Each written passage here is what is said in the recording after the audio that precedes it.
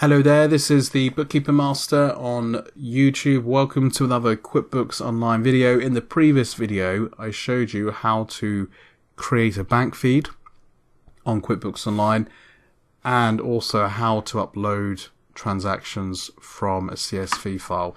It doesn't matter which one you do, you're going to have this same screen. You're going to have the, the bank account and all the transactions that have been uploaded either through the CSV file or through the banking feed.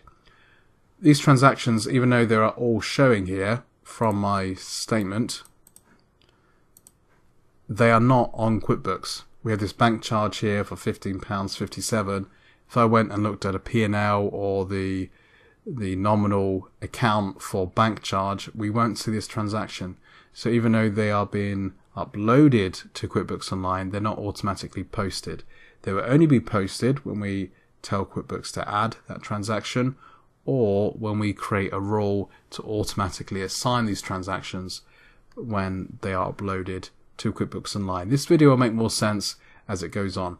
So let's do a rule first of all. So we have this shell, so that's fuel, £62.46. We have shell here, £50.25. We have shell here again, £100.57. We have a BP here, which is also fuel, £55. At the moment, QuickBooks Online wants to assign this to travelling expenses, sales for some reason, travelling expenses, and BP to purchases. So what we can do is we can create a rule. So let's create a new rule. And we can call this our fuel rule. It's for any money out for all our bank accounts.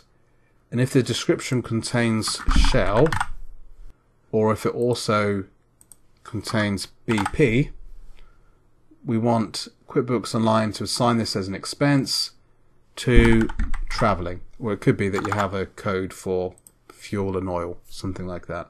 If we want to add a payee, we can do that. And if you use tags, you can do that also.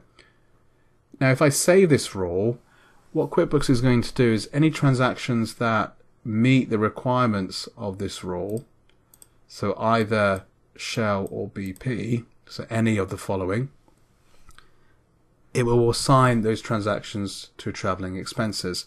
So those four transactions I have on the banking feed should disappear and should be automatically assigned to QuickBooks Online.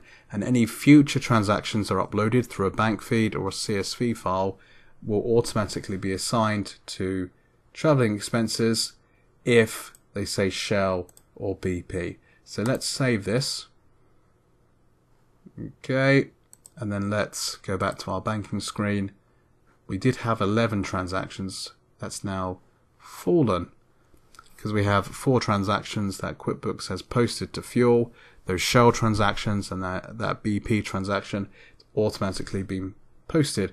We could do the same with income. So any transactions that have the description income, we could assign to like a sales code. So let's do that now. So we go to rules, we can create a new rule. If we want to edit our previous rule for fuel, it could be that we're now also getting fuel from Esso. So we could put Esso on this list, add Esso. So any expenses that come through with Esso in the description will also be posted to fuel. But let's add our new rule. Let's call this our sales rule. Okay, and this is for money in. All bank accounts is going to include the word income. So anything that says income is going to be a deposit to sales. Once again, we can add a payee if we want to or tags. This auto add, so this uh, means that the transactions will automatically be posted. If you don't have this ticked, then it will assign a transaction according to the rule, but you'll have to confirm it before it's posted. This auto add will just automatically post it without any confirmation, without any review needed. So let's untick that just to demonstrate this. So I'll click save. If we now go to banking, you'll see that we have this income meets the rule of sales. It's going to be posted to sales and we can just manually add these now by clicking on them like I said, if you click on that auto add, then there's no need to manually click. It will just add it for you. So that other sales one is gone. We have a couple of transactions here for Vikings. That could be a stationery rule. We have a bank charge. We could make a bank charge for rule, and we have an Aviva there, so you could have like an insurance rule. If you don't want to use rules, then all you have to do is click on the transaction and manually enter the information. So Aviva, is it for a particular supplier or customer? What's the category? Well, it's insurance. Put in the tag if you want to. You can change the description here if you want to. Once we're happy, we click add. That will add the transaction. So we have a bank charge here. So this is going to be bank charges. Even though this is manual entry, this is still so much quicker than actually entering the transactions manually. You know, even if you plan on using the the bank feed and but don't want to use the rules, it's still much quicker to just enter these transactions like so. So 11 transactions entered in a few minutes. With rules, you can potentially add hundreds of transactions by just uploading a document or having a bank feed. It will all be done automatically for you. You still have to reconcile the bank account, so we can go up here, click on reconcile and reconcile the account. I know I've been through a lot very quickly, so feel free to ask me um, any questions you've got. Use the comments section below. If this has been helpful, please like, please subscribe, please watch more of my videos. I have loads of free QuickBooks videos on my website. Just head over to freebookkeepingaccounting.com.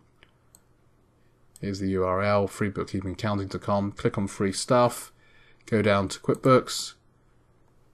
I have a number of courses and videos all for free. There's no sign up needed, no registration, there's no cost involved. Just go through there and click on the links and watch more of my videos. Thank you.